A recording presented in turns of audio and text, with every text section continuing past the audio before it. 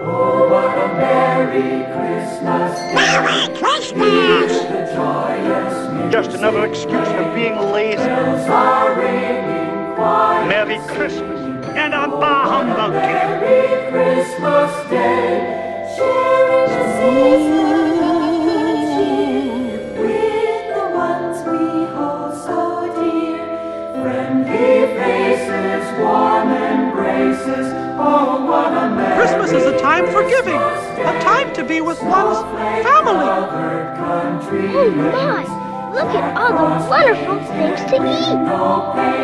I see an empty chair where Tiny Tim once sat. Oh, what happy memories. Surely they have more food than that. I pay you two shillings a day.